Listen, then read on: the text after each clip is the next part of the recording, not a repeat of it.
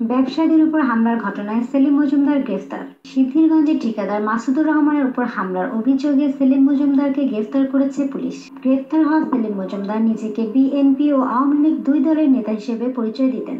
কখনো সিদ্ধিরগঞ্জ থানা স্বেচ্ছাসেবক দলের সাধারণ সম্পাদক আবার কখনো থানা তাঁতি লীগের সাধারণ সম্পাদক হিসেবে পরিচয় দিয়ে আসছিল।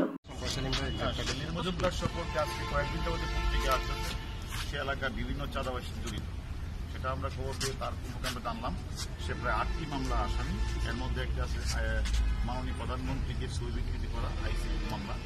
এছাড়া আরও অনেক গুরুত্বপূর্ণ মামলা রয়েছে তার যার কারণে তাকে আমরা অভিযান চালিয়ে তাকে গ্রেপ্তার করেছি। জানা যায় সে এক সময় সে স্বেচ্ছাসেবক দলের সেক্রেটারি পরিচালিত, আবার এখন নাকি সে তাঁতি লীগের সাধারণ পরিচয় আসছে, অর্থাৎ একই সাথে দুটি দলের পরিচয় আসছে।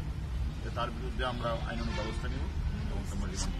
রোববার দুপুরে ঢাকা নারায়ণগঞ্জ লিংক রোড থেকে সেলিম মজুমদারকে গ্রেফতার করার পর জেলা পুলিশ সুপার এক সংক্ষিপ্ত প্রেস ব্রিফিংয়ে তার সম্পর্কে এমন তথ্য জানান। সেলিম মজুমদার সিদ্ধিরগঞ্জের সুমিলপাড়া এলাকার মোহাম্মদ আলী বাবুর্চির ছেলে। সে নাসিক ছয় নম্বর ওয়ার্ডের সাবেক কাউন্সিলর সিরাজ মন্ডলের ঘনিষ্ঠজন বলেও পরিচিত। তার বিরুদ্ধে থানায় ষাটটি মামলা রয়েছে বলেও জানান এসপি হারুনুর রশিদ। প্রসঙ্গ, সিদ্ধিরগঞ্জের আদমজি ইপিজেডে ব্যবসা নিয়ন্ত্রণকে কেন্দ্র করে কয়েক দফায় দফায় মহড়া শীর্ষে ব্যবসায়ীদের উপর হামলা চালানো হয়েছিল।